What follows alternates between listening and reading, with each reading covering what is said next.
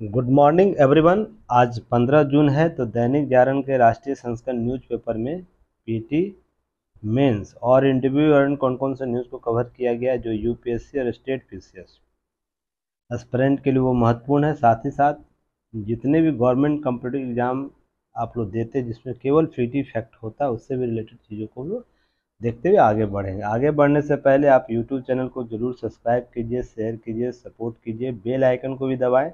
ताकि सभी नोटिफिकेशन आप तक पहुँचे और कमेंट सेक्शन में महत्वपूर्ण सुझाव के साथ साथ पीटी फैट के जो प्रश्न पूछे जाते हैं, उसका उत्तर देने का प्रयास कीजिएगा। आगे बढ़ते हैं। आप लगातार चक्रवात के बारे में सुन रहे होंगे रोकी मानसून की प्रगति। तो यह यूपीएससी के जीएस पेपर वन ज्योग्राफी के पार्ट में आपको मानसून प्रभाव से पूछेगा। ध्यान रखिएगा, यह जिस पर मैंने चर्चा पहले भी किया हूँ, पिछले दो तीन दिन से चर्चा हो रही है, इसमें कुछ अपडेट है, उसे आप लोग देख लिए, कुछ टर्मोलॉजी की बात की गई है, जो पहले भी आप लोग से चर्चा की जा चुकी है। जैसे, क्या है? कि अरब सागर में चक्रवात जो है, ये आया हुआ है, पहले मानसून की तय सीमा केरल में प्रवेश से रोका है, अब आगे बढ़ने से भी रोक रहा है। पहले तो क्या किया ये, आपको क्या कर रहा है, मानसून की जो हवाएँ थी जिससे केरल के तट पर आकर आपको भारत के विभिन्न क्षेत्रों पर वर्षा कराती थी। कि अरब मानसून के दो आपको धाराएँ होती थी, जिस पर आप एक तो केरल होते हुए, पश्चिम बंगाल की खाड़ी होते हुए मानस राम अर्थात आपको मेघालय के गारो खासी जयंतिया से टकराते हुए फिर आपको गंगा के मैदानी भागों में जाती थी। एक गुजरात महाराष्ट्र के होते हुए आपको दोनों मिल जाती थी। पर यह मानसून प्रक्रिया क्या है? ये को यह प्रभावित किया पहले। अब है कि आगे बढ़ने नहीं दे रहा क्योंकि नमी का पार्ट यहाँ हो जा रहा है तो जिससे यह कहीं ना कहीं प्रभावित हो रहा मानसून हमारा लेट हो रहा है। ध्यान रखिएगा, एक जून को केरल में आता था, उसमें भी आप लोग को आठ दिन, आठ तारीख को यह प्रवेश किया है तो वो सब घटनाओं को ध्यान में रखिएगा। पीटी फैक्ट के तौर पर चीज़ों को कवर कर सकता है। मौसम विज्ञानी यह अनुमान लगा रहे हैं अरब सागर में दक्षिणी हिस्से में, जब चक्रवात पनप रहा था, उसी समय मानसून भी भारत में प्रवेश कर रहा था। चक्रवात के मज़बूत होते ही मानसून उत्तर, पूर्व और पश्चिमी, दक्षिण पश्चिमी तटों से आगे नहीं बढ़ पाया। अब इसको समझने का प्रयास कीजिएगा मैप से, कि आप इंडिया का मैप ले लीजिए, ये पूरब है, या पश्चिम है, या उत्तर है, या दक्षिण है। यहाँ बोल रहा है कि आपको उत्तर पूर्व। तो उत्तर पूर्व कौन सा हो गया? उत्तर पूर्व पूर्व और ये पश्चिम हो गया, उत्तर। तो ये जो बढ़ने की प्रक्रिया है, उत्तर पूर्व जाने की जो प्रक्रिया है, उसको रोका। फिर दक्षिण पश्चिम दक्षिण पश्चिम देख रहे ये क्षेत्र। तो यहाँ पर तटों से आगे नहीं बढ़ने दे रहा है। अगर हम ये मानसून, इस बाउंड्री लाइन से जो आपको आगे जाती थी, आप लोगों को मैप में दिया गया था। याद होगा, एक मैप में जो ये आप लोग को आकृति दी गई है, याद होगा। कुछ दिन पहले ही पीडीएफ में दिया गया। उस आकृति में समझने का प्रयास कीजिएगा किस राज्य से कितने तारीख के मानसून पहुँचने की संभावना रहती है, जो अमूमन उस तारीख तक वहाँ पहुँच जाती है। पर इसमें लेट हो रहा है तो उस मैप के थ्रू आप समझने का प्रयास कीजिएगा। फिर आगे, हालाँकि बिहार में पूर्णिया, कटिहार तक पहुँचने के बावजूद भी आगे नहीं बढ़ पाया। कुछ दिन पहले तक कटिहार और पूर्णिया तक मानसून के कुछ हवाएँ वहाँ तक पहुँच चुकी थी, पर वो भी इसके प्रभाव में जो मात्रा में आनी चाहिए, उस मात्रा में इसे आगे बढ़ने नहीं दे रही है। यह चक्रवात, ये भी आपको कहीं ना कहीं संदर्भ को समझने का प्रयास कीजिएगा। घटनाएँ कैसे प्रभावित करती है, कभी प्रश्न पूछे तो उससे टैली करके आप आगे चीज़ों को लिख सकते हैं, ठीक है? अब देखिए, एक मामला है भ्रष्टाचार के मामले में। तो यूपीएससी जीएस पेपर टू में यह टॉपिक आएगा। सरकारी नीतियों में अब भ्रष्टाचार जाँच एजेंसी में। तो इसमें मैं पहले भी न्यूज़ एनालिसिस करा चुका हूँ सभी चीज़ों पर, प्रशासनिक जितने भी ढांचागत है जिस पर भ्रष्टाचार की जाँच करने की शक्तियाँ प्राप्त हो, सभी पर हम लोग चर्चा कर चुके हैं। तो प्रीवियस पीडीएफ आप देख लीजिएगा। आप जो भी एक सौ तिहत्तर पी अपलोड हुए हैं ऐप पर, युक्तिया इसके ऐप पर, Dainik Jagran newspaper analysis वाले पैकेज में तो आप उसे जाके ज़रूर देखिएगा। वो सारे स्टेटिक्स पार्ट को लगभग स्टेटिक पार्ट जो बार बार पूछे जाते वो लगभग कंप्लीट है। उसको बस अपडेट करते चलना है, उस मामले में नया अपडेट क्या हुआ तो नया अपडेट यह हुआ है कि ईडी ने क्या किया? तमिलनाडु के ऊर्जा मंत्री मंत्री जो है वी सेंथिल बालाजी पर। बुधवार को अर्थात कल ही मनी लॉन्ड्री रोकथाम अधिनियम के तहत आपको गिरफ्तारी की गई। तो आप लोग कमेंट सेक्शन में बताइएगा, मनी लॉन्ड्रिंग रोकथाम अधिनियम है क्या? इसकी सीमा क्या है? यह किन किन मामलों तक जाँच कर कर, इसको अधिकार दिया जाता है इस एक्ट के तहत, किस किस एजेंसी को? इस पर मैं पहले भी चर्चा किया हूँ तो ऐसा नहीं कि ये पहली दफ़ा आप लोग से पूछी जा रही है तो आप पीडीएफ में पढ़े होंगे तो ज़रूर प्रीवियस वीडियो देखे हो ज़रूर जवाब दीजिएगा, ठीक है? उसके बाद देखिए, यहाँ पर बात हुई, जैसे ही पकड़ा गया मंत्री ये जो पकड़े गए हैं, वैसे ही देखिए, कुछ लोगों के द्वारा इनके समर्थन में आने लग, आने, आया गया। और यह मामला देखिए क्या है कि सिस्टम इंडिया का क्या हो गया? मैंने कुछ दिन पहले ही बताया था ना। सरकार या सरकार की जो भी एजेंसी है, वो बेहतर काम करती है तो राजनीतिक हमारा ऐसा वातावरण है ही नहीं कि उसको सपोर्ट करे। नेगेटिव काम करती है तो ऐसा वातावरण है ही नहीं कि उसमें सुधार प्रक्रिया की मांग करे। सीधे आरोप प्रत्यारोप को मान लीजिए, एजेंसी ईडी किसी के निर्देश में काम कर रही है। सुप्रीम कोर्ट ने इसे निर्देश दिया कि जाँच करिए। अब है कि विपक्ष के लोग डायरेक्ट बोल रहे हैं कि आगे मैं चर्चा करूँगा, बताऊँगा कि विपक्ष के लोग तमाम जो नेता हैं, कांग्रेस के अध्यक्ष और मल्लाकार्जुन खड़गे और समेत विपक्ष के तमाम नेताओं ने इस गिरफ्तारी की निंदा की है। और क्या क्या बातें की नीचे के पेपर में आप लोग को मैं दिखाऊँगा। पहले उससे देखिए इन चीज़ों को समझने का प्रयास की सुप्रीम कोर्ट ने पैसे लेके नौकरी देने की घोटाले के पुलिस और ईडी की जाँच कराने की अनुमति दी। अब सुप्रीम कोर्ट ने आदेश दिया है तो एजेंसी काम कर रही है, कर रही है ना? यह सरकार का क्या योगदान होगा, आप ही सोच के देखिएगा, तथ्यों पर बात कीजिएगा तो। अब पार्टी पॉलिटिक्स बात कीजिएगा तो तो घड़ा में पानी है तो भी दिक्कत है, घड़े में पानी नहीं है तो भी दिक्कत होगी। अब सुप्रीम कोर्ट के आदेश के बाद ईडी जाँच कर रही पुलिस जाँच कर रही तो घोटाले में सेंथिल बालाजी का नाम भी आया। यह घोटाला उस समय का जब अन्ना दुर्मिक सरकार 11 से 15 के परिवहन मंत्री थे, उस समय का मामला है, जो वर्तमान में दिख रहा है। अब उन्होंने क्या किया था? पैसे, ड्राइवर और कंडक्टर जो है ना, driver, conductor, junior engineer, assistant engineer पदों की नौकरी का आरोप लगा हुआ, जाँच प्रक्रिया चलेगी तो उनको पकड़ा गया है। तो देखिए क्या होता है, नीचे हम आते हैं। कुछ बयानबाजियाँ सुनिए, उसके बाद हम आगे बात करेंगे। हमारे इकोसिस्टम क्या है, इसको समझने का प्रयास कीजिएगा। इधर चला गया, देखिए। ऊर्जा मंत्री सेंथिल गिरफ्तारी, भड़का विपक्ष। आरोप क्या लगा रहा केंद्रीय जाँच एजेंसी के ज़रिए विपक्ष नेताओं को उत्पीड़न, राजनीतिक प्रतिशोध का ताज़ा उदाहरण बताते हुए केंद्र सरकार की तीखी हमला किया है। कांग्रेस अध्यक्ष जो है उनके द्वारा यह बोला गया कि विपक्षी नेताओं को लोकतंत्र और संघीय व्यवस्था पर प्रहार किया जा रहा है। साथ ही साथ यहाँ पर और भी बातें की गई हैं। बयान जारी कर सेंथिल ने ईडी द्वारा की, की गई गिरफ्तारी की निंदा की है और मोदी सरकार का उनका विरोध करने के खिलाफ राजनीतिक उत्पीड़न प्रतिशोध कार्रवाई के अलावा कुछ नहीं यह बोला। अर्थात उनका कहना है यह कि सुप्रीम कोर्ट का आदेश से ईडी अपना कार्य कर रही है। इसका मतलब इस अर्थ यह निकाला जाए कि वर्तमान सरकार सुप्रीम कोर्ट को निर्देश दे रही है। यही कहना कहना चाहते हैं ना? या तो तय कर लीजिए आप कि सिस्टम नहीं है या तो सिस्टम है। तो सिस्टम नहीं है तो सुप्रीम कोर्ट, माननीय सुप्रीम कोर्ट का भी आदेश आप नहीं मानते हैं। उनके संदर्भ को नहीं समझते हैं। अरे, अब वो समय समाप्त हो गया है, जहाँ पर इस प्रकार की चटुकारिता की जाती रही है। अब देखिए, समय यह है ना? और रही बात बंगाल का मामला रहे, बिहार का मामला रहे, यूपी का मामला एमपी का मामला रहे आपको इस संदर्भ के मामला आप देखिए, तमिलनाडु का मामला देखिए, पंजाब, हरियाणा का मामला देखिए, छत्तीसगढ़ का मामला देखिए, जहाँ पर झारखंड का मामला देखिए, जहाँ भी भ्रष्टाचार लग रहा है किस संदर्भ में? इस संदर्भ में कि मनी लॉन्ड्रिंग का है या नियुक्तियों में भर्तियों में, नियुक्तियों में भर्तियों, नियुक्ति जो की जा रही है, उसमें भ्रष्टाचार के मानक तय किए जा रहे हैं। उनके लिए ईडी या तो संबद्ध जो भी एजेंसियाँ कार्य कर रही है तो एक तरफा विरोध होना नहीं एक तरफा विरोध होना चाहिए सभी पार्टियों के द्वारा। अब क्या वही स्थिति है जो स्थिति 1960-70 के दशक में हुआ करता था, जिसकी भैंस उसकी ही लाठी, और गरीब जनता उसके परपाटी सुनिएगा, उसकी पीठ हुआ करती थी, जिसकी भैंस होती थी, उसी की लाठी होती थी, और जनता के पीठ पर उसको पीटा जाता था। वो कॉन्सेप्ट अब रहा नहीं ना। जनता भी जागरूक हो चुकी है, जानती है कि सही क्या गलत है, उसको हर परखती है। जनता को बस यह चाहिए कि जो सेवाओं की आपूर्ति करने वाली एजेंसी है, उसमें भ्रष्टाचार का स्तर बहुत कम हो, नगण्य हो। सरकार इसके लिए प्रतिबद्ध है, एजेंसियाँ प्रतिबद्ध है। तो ये अगर सभी चोर चोर मसोरे, भाई को दर्द होता है तो ये दिक्कत सिस्टम में नहीं है।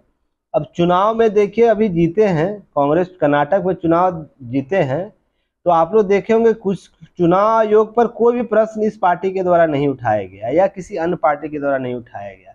जैसे इनकी हार होगी किसी अन्य राज्यों में, देखिए सीधे केंद्र सरकार पर, वर्तमान, अब ऐसा नहीं सोचिएगा मैं पॉलिटिक्स परिप्रेक्ष्य में बात कर रहा हूँ। यह इन लोग की नीयत बन चुकी है। तो समझने का प्रयास कीजिएगा अब यहाँ पर कि सरकार की एजेंसियाँ तटस्थ होकर काम कर रही है। तो यहाँ पर देखिएगा, जैसे ही यहाँ पर अन्य राज्यों में पार्टी हारेगी या इनकी विपक्ष की पार्टी हारेगी तो चुनाव आयोग और चुनाव आयोग की प्रक्रिया सभी सही, गलत हो जाएगी। तुरंत बोलेंगे कि ईवीएम हैक हो गया है तो बिका हुआ है, ये बहुत से आरोप प्रत्यारोप लगते हैं। तो मैंने कुछ दिन पहले आपको क्या बताया, इस प्रकार के आरोप प्रत्यारोप क्या करते हैं? इनका तो इन इन पार्टियों का तो हित पूरा हो जाता है, पर जनता के मन में लोकतंत्र की नींव तक हिला देती है। उनको, उन उन पर है, जनता को किसी भी संस्थागत एजेंसी पर विश्वास धीरे धीरे समाप्त होने लगता है और यह देश के लिए नासुर का काम करता है। मैंने कुछ दिन पहले ही आप लोगों को बोला था। और देखिएगा ये लाइन आपको किसी न किसी बयान में आएगा, किसी टिप्पणी में आने वाला है। अब वो सुप्रीम कोर्ट के मामले में माननीय न्याय न्यायाधीशों के द्वारा कहा जाए या प्रधानमंत्री के द्वारा जाए या संबद्ध जो एजेंसियाँ उनके द्वारा ये बात की जाएगी। क्योंकि चलन बहुत खतरनाक स्थिति से बदला और आपसे इंटरव्यू में ऐसे ही प्रश्न पूछा जाएगा। अगर आप अधिकारी हों और आपको पर ऐसा आरोप प्रत्यारोप लगाया जाए तो आप किस प्रकार से इसका मुकाबला करेंगे? आपके पास कौन कौन से कार्यवाही के तंत्र होंगे, जिसके आधार पर ये सब आप आरोप प्रत्यारोप से बच सके? तो आप तथ्यों के साथ ही जाइएगा ना। तो तथ्य मैंने आप लोगों को बताया कि जब चीज़ें संस्था अपने दिशा निर्देश के अनुसार काम कर रही है तो आरोप प्रत्यारोप कितना भी लगा ले राजनीतिक इच्छाओं की पूर्ति करने के लिए, वो आरोप जायज़ और वैलिड नहीं होते हैं। ठीक है ना?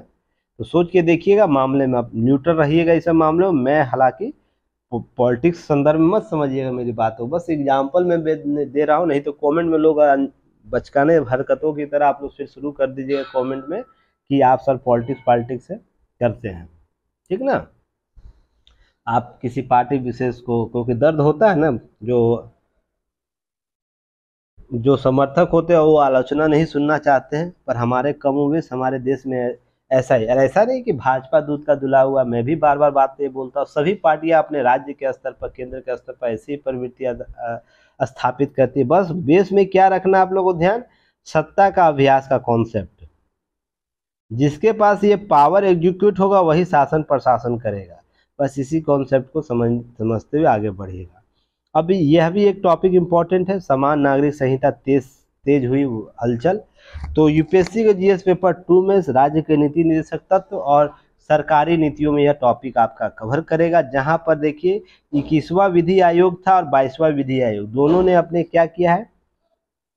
कि पब्लिक नोटिस जारी किया है। किसके लिए पब्लिक नोटिस जारी किया है? कि समान नागरिक संहिता क्या होनी चाहिए, राय मांगने के लिए बातें की गई है। ठीक है ना? कि और आप भी और हम भी इस पर पार्टिसिपेट कर सकते हैं। तीस दिन का समय दिया है। समान नागरिक संहिता में क्या शामिल होना चाहिए, क्या नहीं शामिल होना चाहिए, आपकी राय क्या है इस संदर्भ में, या तो विधि आयोग के वेबसाइट पर भेज सकते हैं, या तो फिर उनके एड्रेस पर। क्लियर है ना? तो देखिए, वर्तमान में सरकारें क्या करे जो विधि आयोग थी, किसी भी विधि आयोग तो चलिए सबसे पहले क्वेश्चन ये बताइएगा किसवें विधि आयोग का अध्यक्ष कौन थे? ठीक है ना? वन सेकेंड तो समझने का प्रयास यही कीजिएगा आप लोग कि इक्कीसवीं विधि आयोग की रिपोर्ट ने समय समय पर नोटिस जारी की थी कि हमको पब्लिक नोट चाहिए। जैसे पहले जारी किया गया 19 मार्च को 2016 में, फिर 27 मार्च को 10 अप्रैल को, फिर दो 2018 में 10 अप्रैल को जारी किया गया था पब्लिक नोटिस ताकि राय ली जा सके। इसी दौरान विधि आयोग के क्या के इकतीस अगस्त दो अठारह को परिवार कानून, फैमिली लॉ में सुधार के परामर्श पत्र जारी किया था। इक्कीसवीं विधि आयोग के अध्यक्ष जस्टिस बी एस चौहान, कार्यकाल समाप्त हो गया। उसके 31 अगस्त 2018 के बाद इस मुद्दे पर कुछ नहीं हुआ। पुनः पुनः बाईसवें विधि आयोग के अध्यक्ष बने नए जस्टिस ऋतुराज अवस्थी। उनके द्वारा पुनः इसमें क्या हुआ कि नोटिस जारी किया गया। यह मांगा गया है कि पारिवारिक कानून विधि आयोग द्वारा परामर्श जारी किया गया और राय मांगी गई है कि आप लोग समान नागरिक संहिता के संदर्भ में अपनी राय दें ताकि उस पर जो भी आगे की कार्रवाई हो कार्य किया जा सके, ठीक है ना? तो आप लोग इसे अपडेट रखिएगा। थोड़ा सा की नोट्स इसमें बना लीजिएगा, इक्कीसवें और बाईसवें विधि आयोग ने क्या क्या अपने संदर्भ में बातें की, कब नोटिस जारी किया, कहीं ना कहीं आपको यह काम देगा ही देगा, ठीक है ना? तो इसे ज़रूर एक बार नोटिफाई कर लीजिए। चलिए, आगे हम लोग बात करते हैं। वर्ष, इस वर्ष भारत छोड़ जाने वाले अमीरों की संख्या कम होगी। यह पीटी फैट के तौर पर पूछा जा सकता है। क्या है यह मामला, समझने का प्रयास कीजिएगा। वर्ष 2023 में भारत विदेश जाकर बसने और निवेश करने वाले हाई नेट वर्थ इंडिविजुअल्स यानी धनी लोगों का संख्या में कमी होगी। Henley private wealth migration report 2023 के ने कहा है कि इस वर्ष भारत से पैंसठ जो यह हाई नेटवर्थ वाले लोग हैं, वो विदेश जाने की संभावना। जो पिछले वर्ष की एक हज़ार कम है क्योंकि आप लोग को पता है 2019-20 में क्या था? कोरोना का काल था। तो स्थितियाँ क्या हुई? 2022 में लोग नए तरीके से आपको चीज़ों को क्या डेली करते रहता है ये लोग। चलिए। थोड़ा सा डिस्टर्बेंस है सॉरी इसके लिए। अब ध्यान रखिएगा, निवेश के लिए 10 लाख डॉलर 10 लाख डॉलर करीब 8.2 करोड़ या इससे अधिक संपत्ति रखने वाले को हाई नेटवर्थ माना जाता है निवेशक। ध्यान रखिएगा। जो आपको एच एन डब्ल्यू आई जिसे बोला जाता है, ठीक है? तो ये आपको कैटेगरी कैटेगरी याद रखना कितने? 10 लाख डॉलर या इससे अधिक संपत्ति वाले लोगों को यह कहा जाता है। ठीक है? ईज ऑफ़ डूइंग बिज़नेस वैश्विक रैंकिंग भारत दो हज़ार तेईस सत्ताईस की अवधि के लिए दसवें स्थान पर है। वहीं 18 से 22 अवधि के लिए चौदहवें स्थान स्थान पर था। तो ध्यान रखिएगा, यह रैंकिंग आपको याद रखना ease of doing business ranking, वैश्विक रैंकिंग जो भारत की तेईस सौ सत्ताईस वर्ष के लिए है। तो ध्यान रखिएगा, इन सब चीज़ों को कवर करना है, ठीक है? उसके बाद भारत में तीन लाख से अधिक है हाई रेट वाले अमीर देशों की सूची में, दसवें स्थान पर 2022 की समाप्ति में था। और इस दौरान भारत से तीन लाख चौवालीस हज़ार छः सौ एच एन डब्ल्यू आई है, जबकि दस, एक हज़ार अठहत्तर सेंटी मिलीनियर है, जिसके पास दस करोड़ डॉलर या आठ सौ बीस करोड़ रुपये अधिक की संपत्ति। वहीं एक सौ तेईस अरब बिलियन, एक बिलियन डॉलर वाले या बयासी सौ करोड़ अधिक वाले संपत्ति वाले लोग हैं। तो इसे सूची बना लीजिएगा, हाई, मीडियम, लो वाले। ठीक ना? कौन कौन है? कितनी संख्या है? और कितना अरब रुपया होता है, कितना करोड़ रुपया होता है, सब कैटेगरी आप लोग बना लीजिएगा। ये कहीं ना कहीं आप लोग को काम देगा। इस प्रकार का कैटेगरी बना लीजिएगा, तीन कैटेगरी ठीक है ना? संख्या कितनी है, इसका मात्रक क्या है, कितना करोड़ रुपया होता है, इस तरीके से। ठीक है ना? चलिए, आगे हम लोग बात करेंगे। अब पसंद पसंदीदा देश कौन है? जहाँ ये लोग जाते हैं, सबसे ज़्यादा ऑस्ट्रेलिया जाने की संभावना रहती है। पहला स्थान पर उसके बाद यूएई, संयुक्त अरब अमीरात जाता है, उसके बाद सिंगापुर जाता है, उसके चौथे स्थान पर अमेरिका है, जहाँ पर हाई नेटवर्थ वाले लोग जाना पसंद करते हैं, वहाँ पर अपना कारोबार स्टार्ट करना चाहते हैं। क्लियर हो गया? पीटी फैट के तौर पर याद रखिएगा उसे। चलिए नेक्स्ट हम लोग बात करेंगे उत्तराखंड में। उत्तराखंड में आप लोगों को पता ही है यूसीसी पर बात चल रही है, उस पर कमेटी बैठी, अंतिम दायरे पर वो पहुँच चुकी है, अपना रिपोर्ट सबमिट करेगी कुछ ही दिनों में, क्योंकि तीस तारीख को उसका कार्यकाल समाप्त हो रहा है। तो इस पर कई उलझे मसलों पर दिख रहा है उत्तराखंड की यूसीसी कानून। बहुत से प्रश्न है जिस पर समाधान सामने आ सकता है या उस पर कुछ टिक्का टिप्पणी आपको देखने को मिल सकता है।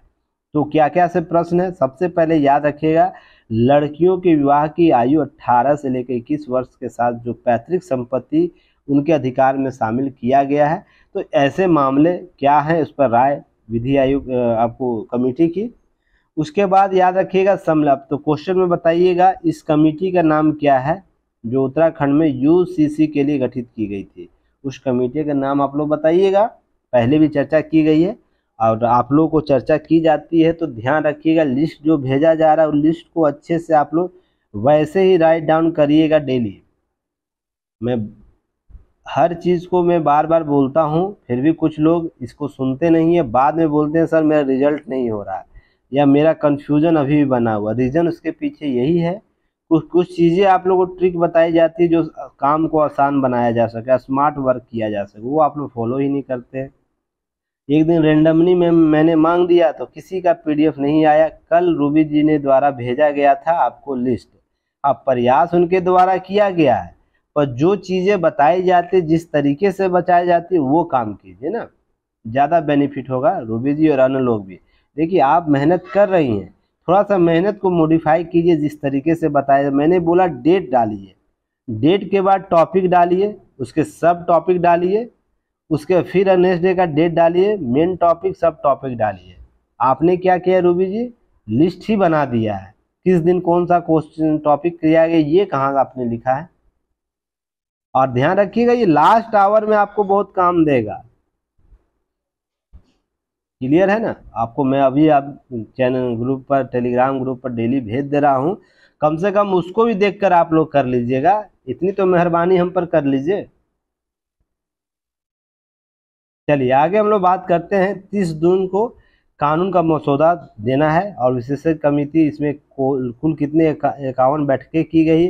अंतिम संवाद जन संवाद किया गया है। और रंजना देसाई ने कहा कि जो सेनानिवृत्त है, जस्टिस इस समिति के जो अध्यक्ष है उनके द्वारा बोला गया ऐसा कानून होगा जो सामाजिक ताने बाने को मज़बूत करेगा। साथ ही साथ, क्या होगा कि लैंगिक समानता को बढ़ावा देने की बात होगी, आर्थिक, सामाजिक, धार्मिक असमानता लड़ने का मदद करेगा। तो ये सब मामलों पर यह प्रश्न चिन्ह सही करेगा।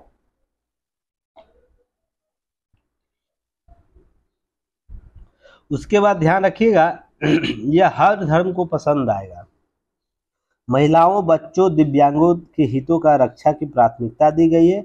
विवाह, तलाक, उत्तराधिकार संरक्षण करता हिरासत विरासत से संबंधित मुद्दों पर यह संहिता बेहतर सिफारिश करने की बात कर रही है। धार्मिक, राजनीतिक और सामाजिक नेताओं को पसंद किया जाएगा इसकी बात इनके द्वारा की जा रही है। और भी है। डॉक्टर सुलेखा, जो सदस्य हैं इस समिति के, उनके द्वारा बोला गया कि प्राचीन संस्कारों को और परंपराओं का ख्याल रखा गया है। आने वाली पीढ़ी के समक्ष जो भी नए प्रश्न होंगे, प्रकार के संबंधों, कानून, चुनौतियों को लड़ने का रास्ता दिखाएगा। लड़कियों के लिए तय, शादी की स्वीकार उम्र सीमा तय करेगी। समलैंगिक और लिव इन रिलेशनशिप के संपत्तियों का अधिकार जैसे मुद्दे भी इस यूसीसी में शामिल किए जाएँगे। अब इतनी बड़े ओरा को क्रिएट कर दिया गया, बहुत से मुद्दे को समझाया गया है। यह तब समझ में आएगा जब इससे संबंधित मसौदे सामने आएँगे। सॉरी मसौदे सामने आएगा। जो कमेटी रिपोर्ट सबमिट करेगी पब्लिक डोमेन में आएगी, सरकार उस पर क्या निर्णय लेती है वो देखने वाला होगा। और यह अगर मान लीजिए जो बातें की जा रही है, उसमें से अधिकतर मामले अगर सही मायने में लागू हो जाते हैं तो याद रखिएगा, यह मील का पत्थर साबित होगा अन्य राज्यों में यूसीसी लागू करने के लिए। अगर जो बातें इनके द्वारा की जा रही है, मान लीजिए सभी धर्मों के लिए क्या होगा पसंदा और सामाजिक नेताओं के धार्मिक, सामाजिक, राजनीतिक नेताओं के लिए पसंद किया जाएगा जो बातें इनके द्वारा की जा रही है। या तो ताने बाने जो सामाजिक ताने बाने जो डिस्टरबेंस की बात की जा रही थी यूसीसी के लागू होने पर, अगर ये सब नहीं बिगड़ता है तो याद रखिएगा, यह कानून मील का पत्थर साबित होने वाला है। अब हमें भी बहुत ज़रूरी इच्छा रहेगी कि इस ड्राफ्ट को जल्द से जल्द देखने का, ताकि उस पर न्यूज़ एनालिसिस किया जा सके और एक नया कॉन्सेप्ट आप लोग को दिया जा सके तो उसका वेटिंग मैं भी करूँगा। और उम्मीद करता हूँ जो बातें की जा रही है, उसके समतुल चीज़ें हुआ हो उस रिपोर्ट में। और सभी संपत्तियों क्योंकि देश में यूसीसी कानून यूसीसी कानून, जनसंख्या नियंत्रण जैसे ऐसे मुद्दे हैं, जो आपको जल्द से जल्द उस पर निर्णय लेने का, निर्णय लेने का कार्य होना चाहिए। नहीं तो हमारा सामाजिक ताना बाना बिगड़ रहा है। सामाजिक ताना बाना बिगड़ रहा है। नहीं तो क्या होगा? आने वाले समय में नासुर यही जो वर्तमान में जो समस्या हल होने वाला घाव है ना तो आने वाले कुछ समय के बाद यह क्या हो जाएगा? आने वाले कुछ समय के बाद यह नासुर बन जाएगा, जिसका समस्या समाधान तत्काल रूप से ढूंढना ज़रूरी हो जाएगा, नहीं तो विकट रूप से हमें इसका परिणाम भुगतने के लिए तैयार होना पड़ेगा। ये सब चीज़ें थोड़ा सा है, उसे ध्यान रखिए। अब है कि यूसी यूपीएससी के जीएस पेपर टू में ही आएगा, राज्य के नीति निर्देशक तत्व में आएगा, सरकारी नीतियाँ आएगा, जनजातीय उत्थान कार्यक्रम आएँगे। अब देखिए, सरकार ने जो पीछे काम किया है जनजातीय उत्थान के लिए, उससे संबंधित कुछ आंकड़ों को दिया है। इन आंकड़ों को क्या करना है? नोट कर लेना है। अब लिस्ट बना के नोट करना ऐसा नहीं कि एकदम पुराने ढाढ़े पर लिखना शुरू कर दीजिएगा। ग्राफ बनाइएगा इसे, बॉक्स बनाइएगा, सरकार योजना, सरकारी योजना का यहाँ नाम लिखिएगा, उसका उद्देश्य क्या ऐसे लिखिएगा। मान लीजिए, आयुष्मान भारत लाया है तो आयुष्मान भारत यहाँ नाम लिख दीजिएगा, उसके उद्देश्य क्या क्या क्या क्या डाटा या अचीव किया गया, यहाँ पर बात की गई है।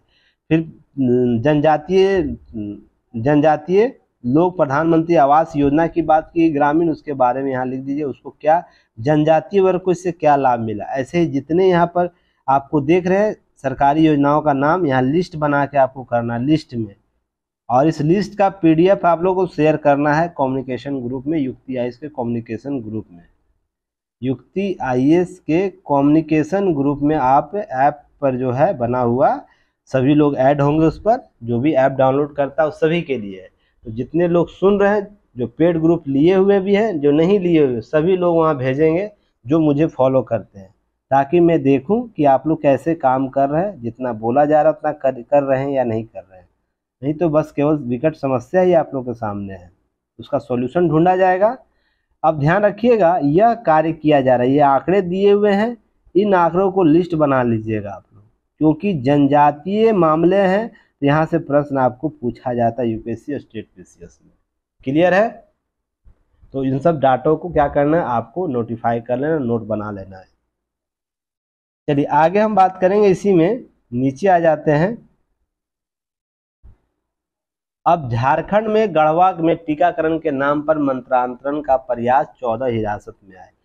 धर्म मंत्रांतरण से संबंधित मैंने पहले भी न्यूज़ एनालिसिस किया हूँ। आपको पीडीएफ अवेलेबल है, वीडियो अवेलेबल है, जाके देख लीजिएगा। क्लियर है?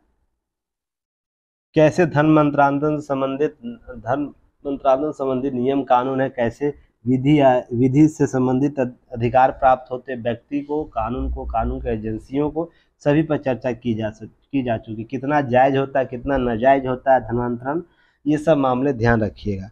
अब धर्म मंत्रालय इतना विवाद क्यों होता है? तो आप यह समझने का प्रयास कीजिएगा, किसी की संस्कृति या किसी का कमज़ोर करना है ना तो उसके धर्म पर आघात करो, धर्म पर आघात करो धार्मिक आचरण को प्रभावित करो तो वो सभ्यता स्वतः नष्ट हो जाती है। अब इसका एग्ज़ाम्पल आप कहाँ से समझ सकते हैं? इसको समझने का प्रयास कीजिएगा। अभी मैं बताता हूँ आप लोगों को, इसे समझने का प्रयास कीजिएगा। वन सेकेंड मुझे समय दीजिएगा।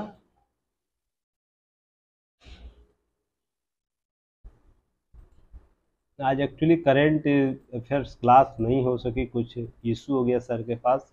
नेट का। तो रिकॉर्डेड क्लासेज आप लोग को अपलोड हो जाएगी कुछ ही समय में तो थोड़ा सा उसको देख लीजिएगा आप लोग।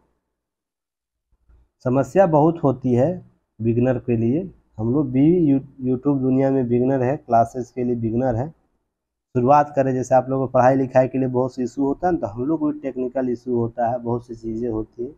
धीरे धीरे सॉर्ट आउट किया जा रहा है कॉपरेट कीजिए।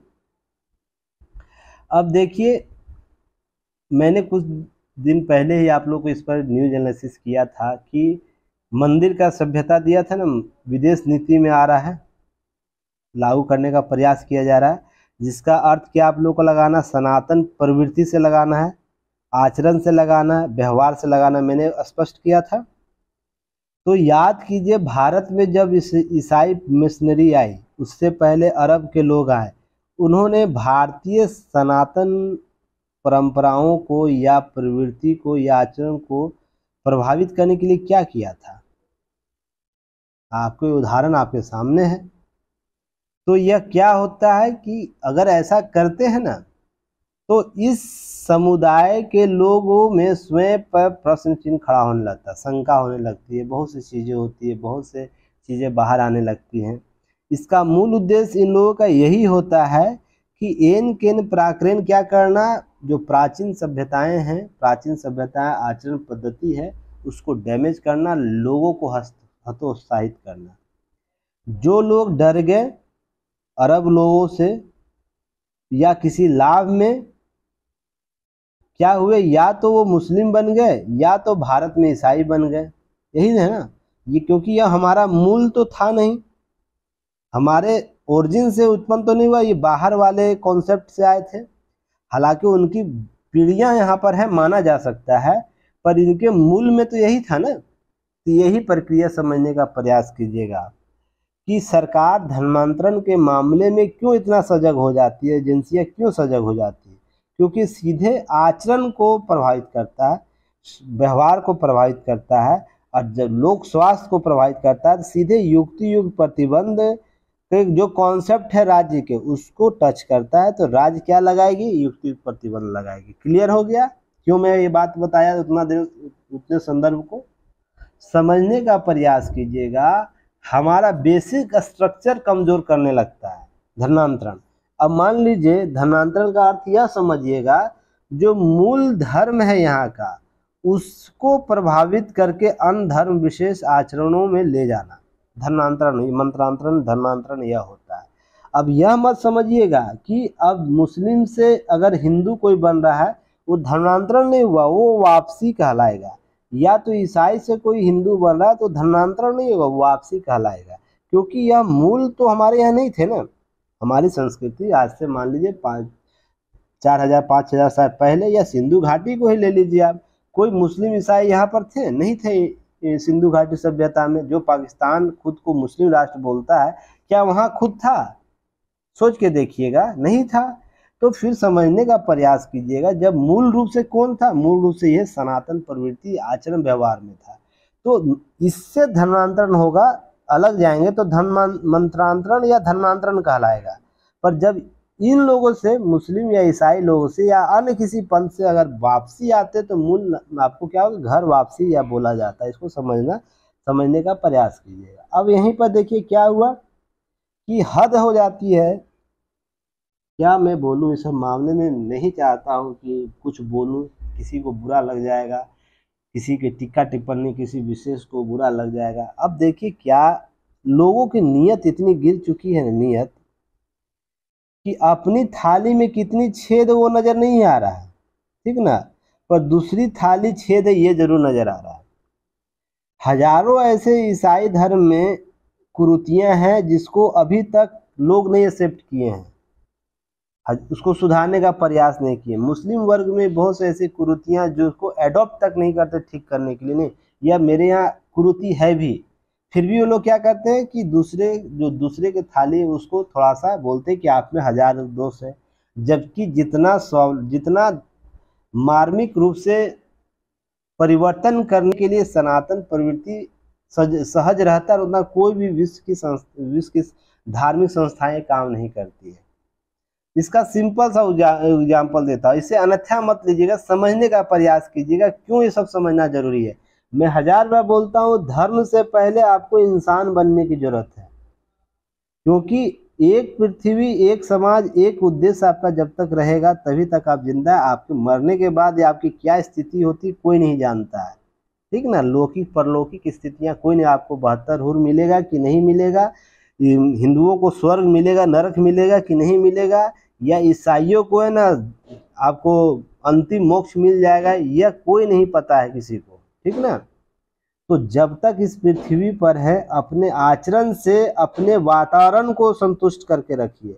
आप ऐसा कोई व्यवहार मत, आचरण व्यवहार में लाइए कि जिससे दूसरे व्यक्ति के दैनिक जीवन, सामाजिक जीवन या व्यवहारिक जीवन में कोई प्रभाव आए। अगर ये कर लेते नहीं, यही स्वर्ग है, यही नरक है। इस कॉन्सेप्ट को समझने का प्रयास कीजिएगा। बाकी है ना, मैं शब्द यूज़ कर दूँगा, फिर आप लोगों को किसी स्टूडेंट को बुरा लग जाएगा। पर ऐसा नहीं होना चाहिए। देखिए क्या बोला यहाँ पर, सोचिएगा। कि टीकाकरण अभियान हेपेटाइटिस बी के लिए बचाव के लिए टीकाकरण जागरूकता अभियान लाया गया? मोहल्ले लोगों से क्या हुए एक जमा हो गए लोग। भारत में होते हैं, इंडिया में तो खासकर झारखंड, बिहार, यूपी ऐसे क्षेत्र अगर कोई डुगी बजा दे तो वहाँ हज़ार लोग भीड़ खाली जमा हो जाएँगे। तो ये लोग आए, उसके बाद क्या कि सभी लोगों ने ईसाई को अपनाने के सभी दुख दूर हो जाने की बात कही। ईसाई धर्म अपनाने से प्रेरित करने लगे और कहने लगे, ईसाई धर्म में नहीं आओगे तो परिवार को लाखों दुख के पहाड़ टूट जाएँगे। अरे भाई, पहले अपने देश में ईसाई का उन्नति का प्रयास करो, ज़्यादा बेस्ट होगा। ठीक ना? आपको मैं आज दुनिया का सबसे बड़ा सच बताता हूँ, अगर आप इसको समझने का प्रयास कीजिएगा तो पूरे धर्म पंथ जो है ना, कॉन्सेप्ट आप समझ जाइएगा। देखिए ये प्रकार का कोई मूल विचार है। ठीक ना? मूल विचार है बी सी डी ई इसको समझिएगा मूल विचार, जो बहुत से बातों पर टिकी हुई है। एक, दो, तीन, चार, पाँच पॉइंट मान लीजिए, बहुत से बातें ये बोलता है कि आचरण करो, व्यवहार करो, इसी से आपको मोक्ष या बहुत से कॉन्सेप्ट ये देगा। मान के चलिए। तो इसमें बहुत समय तक क्या होता है इसी पर लोग चलते हैं तो क्या होता है? तो इसमें कुछ पॉजिटिव और नेगेटिव बातें सामने आती है। तो नेगेटिव बातों को अलग से प्रस्तुत करने के लिए बी वर्ग का जन्म होता है। जैसे हिंदू में आप देख सकते हैं हमारे लोग ही हमारे समाज के लोग क्या कहते हैं कि हम्म, हिंदू धर्म में सुधार करने के लिए बहुत से आपको राजा राम मोहन लाल, केशव चंद्र सेन, बहुत से ऐसे एग्ज़ाम्पल मिल जाएँगे। दयानंद सरस्वती, विवेकानंद सरस्वती, रामकृष्ण परमहंस, ऐसे हज़ारों आपको मिल जाएँगे जो वर्तमान धर्म में कुछ सुधार करने की बात की थी। ठीक है ना? तो जब यह प्रचलन चलता है ना तो इनके पास क्या होता तथ्य कि इस वर्तमान में कुछ कुरुतियाँ हैं तो उसको सुधार करना है। तो वर्तमान में कुछ कुरुतियाँ उसमें सुधार करना है तो ये क्या करता है? एक अलग प्रकार का थेसिस देता है, अलग प्रकार की विचारधारा देता है, ऐसे ही धर्मों के साथ होता है। मान लीजिए यहाँ का कोई क्षेत्र है, यहाँ पर कुछ मूल धर्म पहले से रहा होगा, मान के चलिए कुछ भी हो सकता है। अब नए विचार आए हैं, किसी व्यक्ति विशेष ने विचार दिया है तो ये क्या करेगा? इसके डिमेरिट्स को निकालेगा। मेरिट्स को तो निकालेगा नहीं डिमेरिट्स को निकालेगा और वो अपने विचार का, विचार के लिए पुख्ता रास्ता उसी को चुनेगा। तो अलग अलग विचार आपको देखने को मिल जाएँगे। पर जितने भी वर्ल्ड में धर्म हैं, पंथ हैं, आप है ना, सभी का गहन अध्ययन कीजिएगा। एक ही मूल, मान लीजिए मूल आपका विवाह है। विवाह है ना, विवाह करना मूल एक तथ्य है। विवाह के मूल तत्व सभी में पाए जाएँगे किसी भी धर्म का हो, पंथ का हो किसी भी आचरण का हो, सभी में विवाह पाया जाएगा, पर उसकी पद्धतियाँ अलग अलग होगी। इसका मतलब यह नहीं हो जाता है कि आप धर्म की मौलिकता लिए हुए ठीक, एक बात आप समझिएगा। अब इसी तरह सभी में मरण, मर, मृत्यु के बाद मृत्यु एक सत्य है, मृत्यु का एक कॉन्सेप्ट होगा, जीवन और मृत्यु का। तो मृत्यु के अंतिम संस्कार की पद्धतियाँ अलग अलग होंगी। इसका मतलब इसका नवीन विचार तो आपका है नहीं ना? तब इसमें क्या ढूंढा जाएगा कि किसी को जलाया जा रहा है, किसी को दफनाया जा रहा है, किसी को क्या कराया जा रहा है? आपको छोड़ा जा रहा है खुले आसमान में। तो समझने का प्रयास यह कीजिएगा, मूल प्रवृत्ति में नए संशोधन के साथ जो आता हुआ आया हुआ आचरण ही नया प्रवृत्ति लेकर आता है, जो नए नए धर्मों में आएगा देखने को मतलब। नए नए पंथों में देखने को मिलेगा। उसका मूल उद्देश्य यही होगा, जो मूल प्रवृत्ति का होगा, उसमें कुछ नेगेटिव जो बातें की गई, उसमें संशोधन करके हमें नए तरीके से प्रोड्यूस करना जैसे बहुत से विचारधारा आपको देखने को मिलेगी, जैसे कबीर पंथी कबीर पंथी, इन्होंने क्या किया? आप लोग सभी को पता है ना? सामाजिक ताना बाना में जो नेगेटिव बातें थे उसको सुधार करने का प्रयास किए। उसी तरह आपको नया नयन नयन नयनार अयनार वैष्णो धर्म लंबी शिव धर्म लंबी या इसी तरह बहुत से मुस्लिम समुदाय में आपको देखने को मिलता होगा। जैसे जकारिया है, सोहरावदी है, बहुत सा विचारधारा देखने को मिलता है वो किया क्या आखिर? यही सब किया है ना? कि मूल में कुछ नेगेटिव बातें थी, उसको सुधार करने के लिए नए नए कॉन्सेप्ट लेकर आया। इसका मूल परिवर्तन में केवल यही था, सुधार हमको करना है।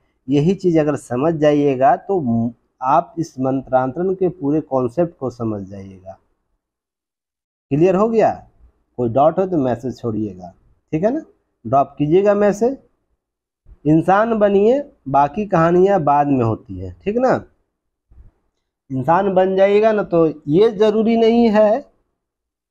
जन्म के वक्त आपके जन्म दिवस पर कितने लोग बधाई देने आए हैं?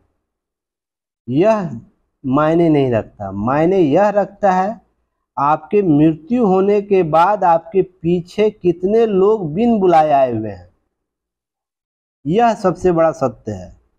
अगर यहाँ दस लोग भी आप इकट्ठा कर लिए कि बिना बुलाए ही आपके दरवाजे पर आ जाए, क्योंकि मृत्यु हो जाएगी तो कोई आपको बुलाएगा नहीं ना। पर जैसे ही उसको समाचार मिलेगा कि फलना आदमी की मृत्यु हो गई है तो उसको बिन बुलाए उसके दरवाजे पर पहुँच जाए। अगर ये आप कर लेते दस लोगों के साथ, बीस लोगों, पचास, हज़ार लोगों के साथ तो समझिएगा आप जीवन के सारे सत्य को समझ लिए नहीं तो आपके मृत्यु के समय चार कंधे भी मिलना मुश्किल हो जाएँगे। जिस तरह आचरण समाज का चल रहा है, अभी वर्तमान में चार कंधे भी मिलना मुश्किल हो जाएगा। लोग एक दूसरे का विरोधी हो रहे हैं बात बात को लेकर आरोप प्रत्यारोप लगाते, बिना किसी गहन अध्ययन किए हुए। आजकल तो छोटे छोटे लपाटे लोग हैं ना, सोशल मीडिया पा के ज्ञान देते हैं।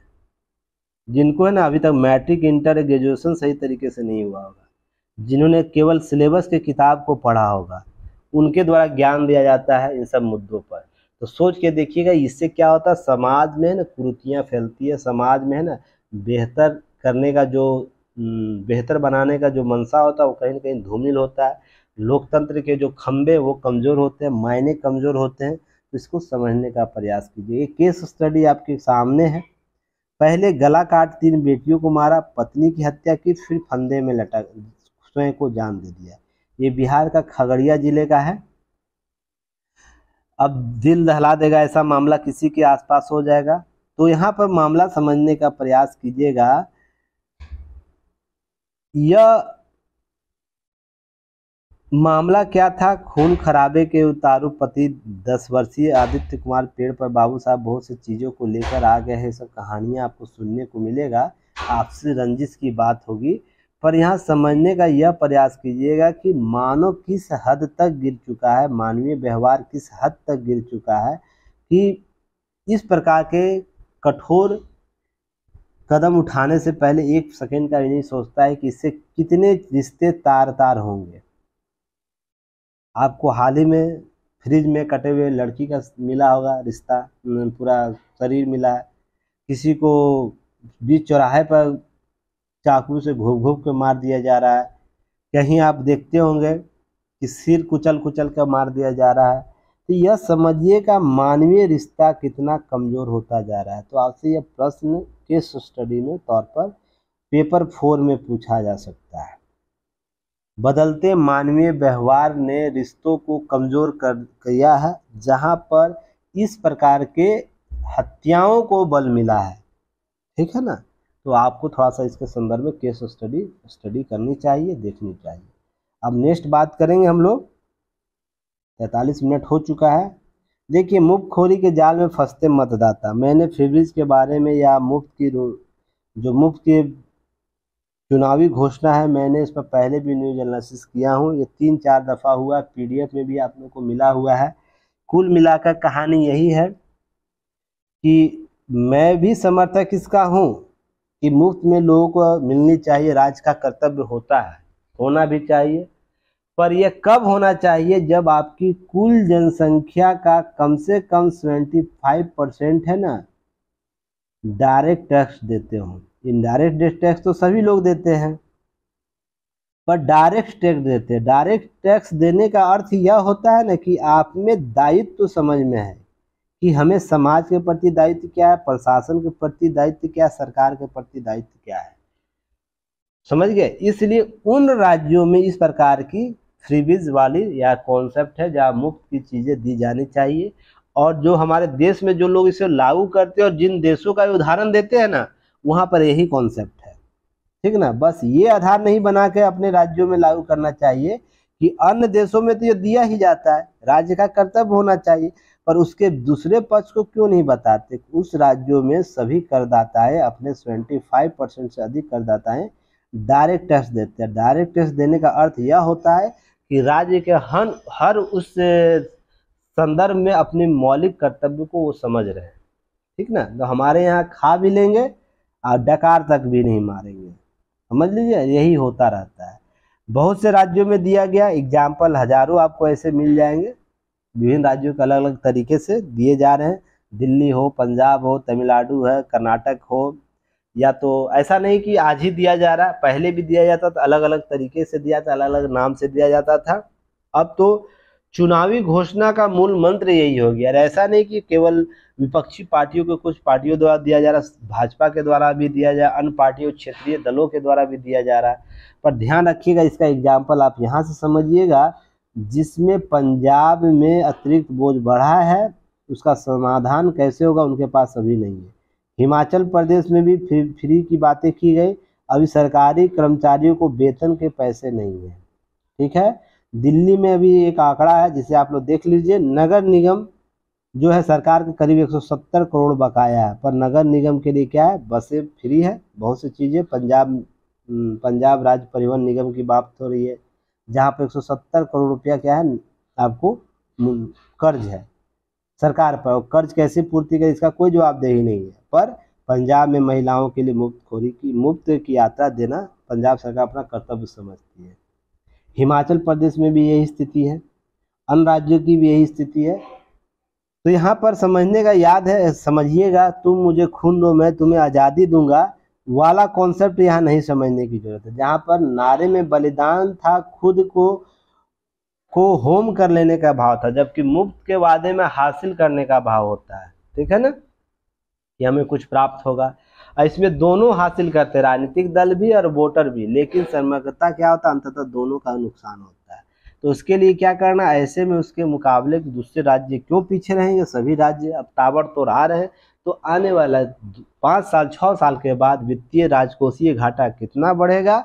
उसका कोई आकलन अभी राज्यों के द्वारा नहीं प्रस्तुत किया गया है। ठीक है ना? कुछ चीज़ें हैं ना, कुछ चीज़ें नहीं दी जानी चाहिए। मे भी कितनी भी स्थिति खराब क्यों नहीं हो नहीं देनी चाहिए। रीज़न उसके पीछे है ना, इससे राष्ट्र की एकता अखंडता धूमिल होती है। अब मान लीजिए राज्यों में इस प्रकार के अतिरिक्त बोझ बढ़ेंगे, सभी राज्यों में, कुछ में कम, कुछ में अधिक तो सीधा सीधी केंद्र पर दबाव आएगा। केंद्र पर दबाव आएगा तो केंद्र वित्त के आवंटन के लिए क्या करेगा? बहुत से इन केन प्राकृन उसको मजबूरी हो जाएगी, राष्ट्र को बचाए रखना है। तो वित्त प्रबंधन के लिए बहुत सी चीज़ें करेगी। तो इसमें निजी हाथ जो होता है ना, निजी हाथ, निजी कंपनियाँ का दबाव बढ़ता है इस संदर्भ में, इस अवसर के, इस प्लेटफॉर्म पर। कि केंद्र दबाव में है तो हम उसे पैसा इन्वेस्ट करते हैं और इन के इन प्राकृन बार्गेनिंग कराया जाएगा। हमको इन्वेस्ट के लिए मौका दो, हम करेंगे, तुम्हारे यहाँ दस हज़ार करोड़, पचास लाख करोड़, ऐसे इन्वेस्ट करेंगे, ऐसे बात करेगा।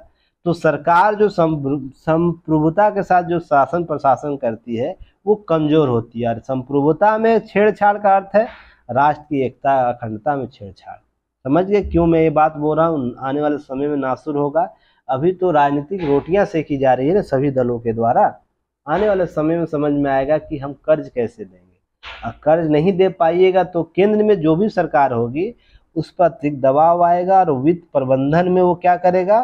निजी हाथों से पैसा लेना चाहेगा, निजी संगठनों से लेना चाहेगा और उसके एवज में वो क्या करेगा? बोलेगा कि हमको यहाँ पर इस क्षेत्र में चाहिए इतना ज़मीन। हमको क्या लगाना है? कि हमको कारखाने लगाने हैं। कारखाने लगाने के लिए हमको छूट दो और कारखाने में विभिन्न प्रकार के वो तकनीक अपनाएगा, बहुत सी चीज़ों को लाएगा।